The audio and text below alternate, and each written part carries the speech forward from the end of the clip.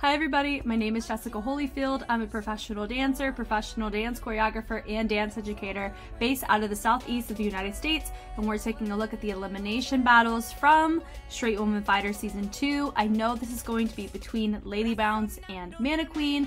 I did hear that WolfLo was the crew that ranked 6th, so they were automatically eliminated. Part of me wishes that I could have seen a Mannequeen WolfLo mashup. That would have been so cool, but I am excited to take a look at some Lady Bounce Balance versus Mannequeen battles. It's going to be great, and I'm definitely looking forward to it. Let's get started.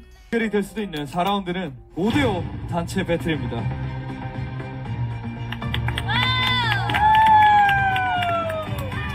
역시 Why do I feel nervy for them? 아이고 긴장되겠다. 이게 마지막이면 안 되는데. 내 방은 이 지금이 제일 떨릴 것 같아. 우리가 마네킹보다 더 간절함이 커졌잖아요. 진짜 이 악 물고 분위기 진짜 우리 걸로 제대로 가져와 보자. 얘들 놀아 놀아. 완전 잘 놀 수 있어. 내방 어떻게 나올지 궁금하네. 패배한 크루는 그 즉시 탈락하는 극한의 배틀. 레이디 바운스 대 마네킹, 마네킹 대 레이디 바운스 대 배틀을 시작합니다. Are you guys ready? I'm ready, let's go!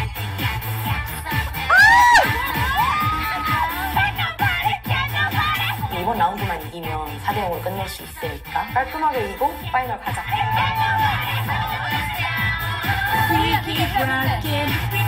Guys, this is such a freaking great track!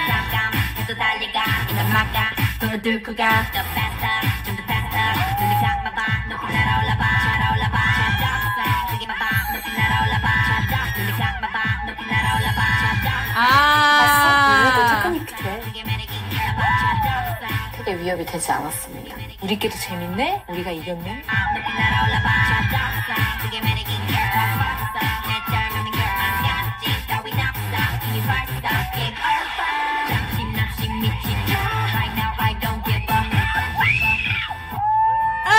Harimu is such a hype woman!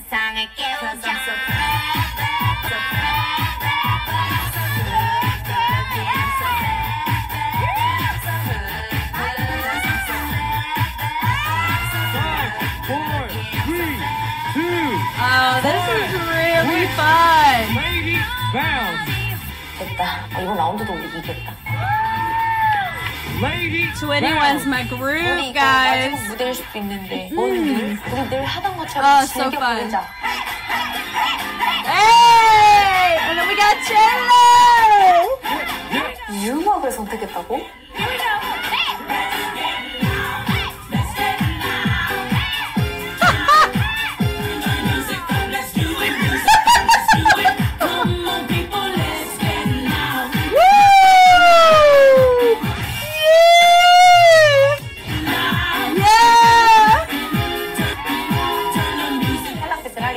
마네킹을 할 확률이 높겠다라고 생각하고 준비를 했고 확실히 우리를 겨냥했네.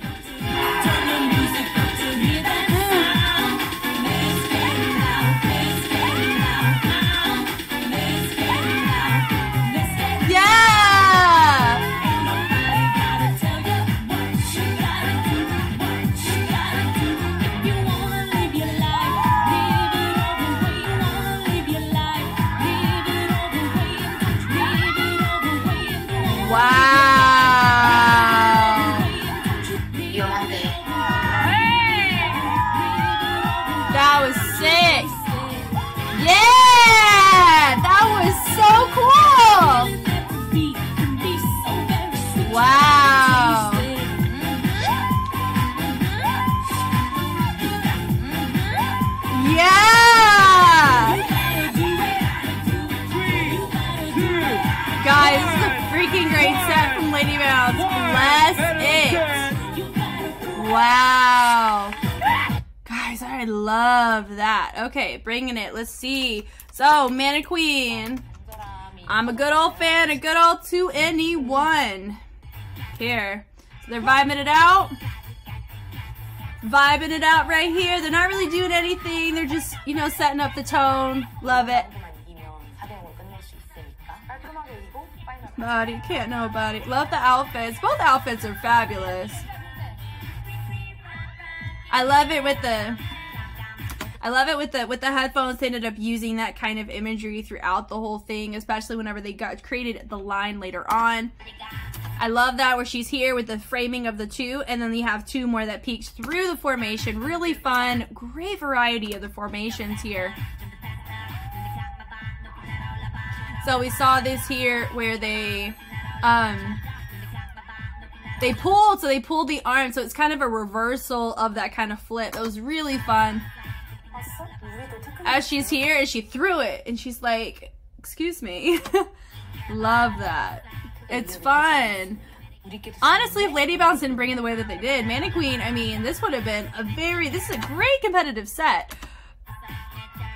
And have they have that here with one of our uh, one of our dancers? So we had one of them fall down as the as the feature was here, and she fell, and then the three joined after my feature branched out to the side. So I think that was super a great choice from them. Minor spacing issues here that you can see from a judge's viewpoint. So that's another thing to notice here is that when you have judges involved, their vantage point does influence what they see and how they see it. So even though it may look nice and spaced out to our Lady Bounce ladies, the judges are the ones who are calling the shots here, right? So I think that those little things could factor in to how this comes across. It is nice and smart of them, however, to not only target Lady Bounce, but to target their judges. It's nice for them to see that. That was really nice, but I think one of them wasn't quite as clean on that framing of Waxy as they could have been. So it is Redolique that there. That's there. But if you notice that my three, you can tell that they're around the same, but then you have one of them completely bent in her arms. It was just not super clear, a little bit muddled in that section, which could have contributed to, uh, we understand what they were trying to hit, but I don't think they hit it 100% of the way where it was very clear what angles they wanted. I would say this half, it was more clear within their tuts and their angles. Shout out to Harimu for being the best hype woman. I love that that pull up of that energy because that sound went and it traveled up. So it's nice that they pulled their groove and their energy upward in that section. Yeah, so that section, it could have been a lot, a little bit more cleaner. It was still nice, but it was definitely not as clean as it could have been to really set it apart.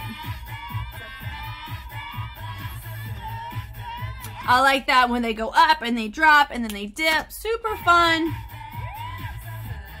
I do think Redolique here is not on the same page on just really minor things, especially there. She's kind of going a different direction, or maybe her groove in her pocket slightly different. Nothing major, but it's enough for me to notice, um, especially knowing that she wasn't as clean as a lot of the other ones were, even right here.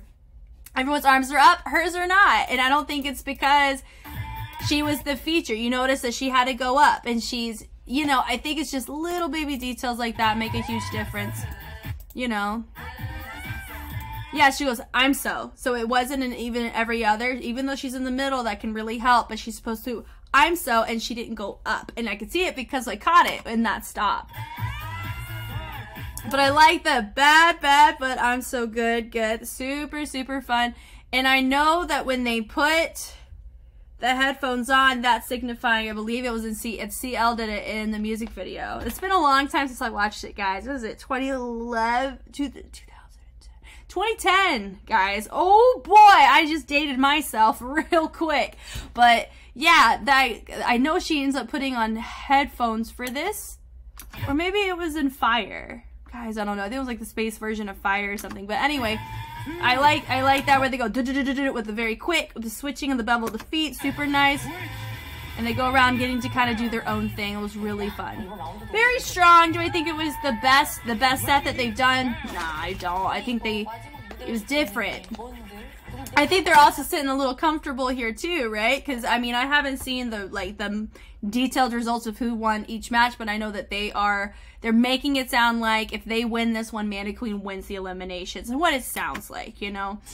But this song, great song choice. Was it Let's Get Loud, J Lo? I've used this song before. I've done waacking and house to this song. It's a great track for multiple foundations.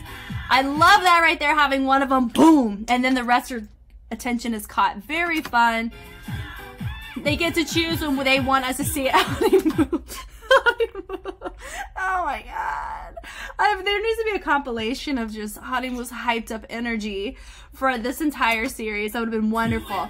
Very clean right here. And their commitment to their performance. That one, two, brilliant from them and their re- repetition of their grooves and this is where it really works i love a lot of times when they're sitting and do a groove and they build it and make it bigger and then they create a gimmick or a disc we know what that's from that's from the K-pop challenge. And I love it that they catch that. Mm. Mm. Also note that Lady Bounce is exploring different pockets of the music here in comparison to some of the other battles I've already seen from them. So I really like, I like it and it does matter as you're noticing. And I love it right there. Boom, boom. They're having a, look at that. They're taking a very feminine pocket. We're not used to seeing them do that. And I love it. It's so fun. It's clean. That right there. Boom, two. And just having the add-on, or not the add-on, having the ripple there, and then having them go into the whoa. Super fun. Super cute. It's cute, it's engaging. This right here is, I think, what sealed the deal for this round for them. Look at, at the clean execution in the slide through. Like, just look at this. She slides through and she gets pulled back. It's very important, whoever's being slid, that she makes it seamless and where where the, she is sliding and then the pullback. This was brilliant. I know we end up seeing this like 15 times. It's one of the things of the, you know, of the Korean shows is they like to show something very, very many times. But I love it going into the back walkover, super clean. That was a great run from them. I love the look of shock right there. Very strong. Even there, everything that they've done to set up stable, and that really helps with how they're doing this forward rolls. Even nice going into the Vogue. They're framing her a little bit more of a salsa. This right here, guys, we know where this comes from. Sarah did it to Ling during the battles. That this just kills me. It's thriving in disarray, is how I would call it. And that's something I feel like Lady Bounce does very well. That right there even how they're choosing to do a lot of these techniques that right there i will say is something super impressive of theirs because a lot of times you don't see groups do these types of very intricate intricate not vibrationary but more like the reverberations the reverbs are really difficult to get right quickly, right? And I think that just shows the fluency as a group. I know the group's been around for a long time with each other. They've worked together. So they have fingerprints of movement qualities that do overlap. And this is one of those things I'm noticing from them. And I absolutely love the usage of it here. I saw it in their very first round. How they hit it at the end. Mm, my only preferential note would be having Biggie in center for that last little bit, but I like the fact they have Vessi there because of that feature, because Biggie does not have a jacket. That's just a preference thing. It doesn't actually matter in this. If I were to pick, I would have picked Lady Bounce for this round because their set was cleaner. They explored more of their music. It, they took a different approach to the track. They also had a couple of diss moments that were well executed and very easy to read. And that's something that you want. It was digestible. It was fun. It made me want to get up there and dance with them, which matched the aesthetic of the track they were doing with Mannequeen. It was really nice to see what they were doing. I love the song 2NE1, Can't Nobody. It's my vibe, it's my jam. I do think there was a couple of clean issues that I really think cost them the round. But also, Lady Bounce brought a gimmick that was different um, in creativity in comparison to Mannequeen, so we kind of canceled each other out a little bit there. But I think this was a fabulous, fabulous round from Lady Bounce. Definitely one of my personal favorites. Thank you guys so much for watching. I hope I was helpful in some way. I've always, always enjoyed watching dance and I've really enjoyed watching Street Woman Fighter season 2 and these battles are no different. I absolutely love the, discussions that come about from watching these as well as extra context and insight that a lot of you guys provide for me and it really helps me grow as a dancer and as a human and as somebody who analyzes this stuff. So if you want to see more Street Woman Fighter content, whether it's season 1, season 2 or Street Man Fighter, all of that is starting to be released on YouTube, but all of it is there on Patreon for you to view ad-free, whole vibe and a half, and some things that can't make their way to YouTube for copyright reasons are also hanging out over there if you want to go take a look. Thank you guys again for watching. It's always been a pleasure, and I will catch you on the flip side. Bye.